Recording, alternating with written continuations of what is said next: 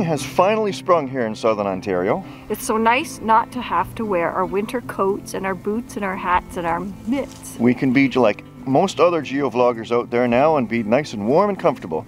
And we're after one cache today and we just want to bring you along for a walk in the woods. A beautiful day it's going to be. Let's go find the cache, but not just any cache. Let's see what, what it is when we get there.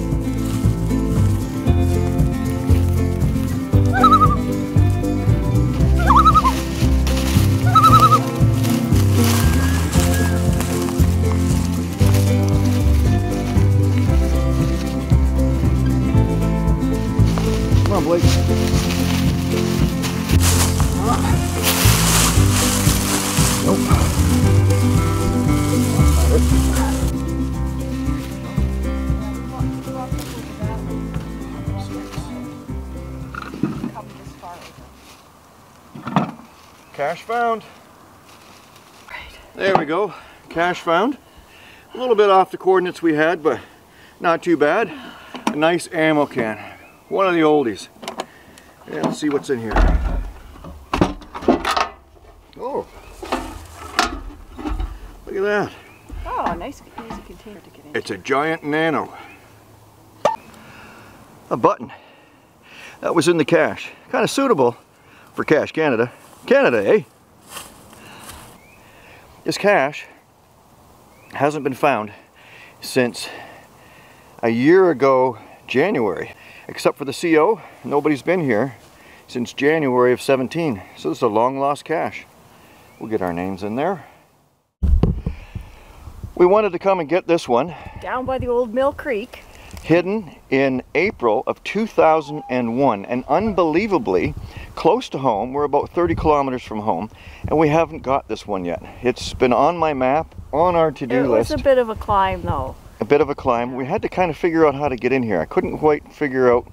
I was always on the wrong side. I've been here a couple of times and looked and I thought, no, I'll wait for good weather. So here we go. We got an oldie. A lot of people around here have already got this one. It's first one for us, but hey, awesome. It's a good cache. Let's get out of here. Let's go, maybe. Hey, let's go hide a cache. There, it's nice to finally get that one. I looked at it a few weeks ago, but then we still had snow at that point, and it looked like it would probably be not very fun walking in these woods at that time. You just miss all the rose bushes.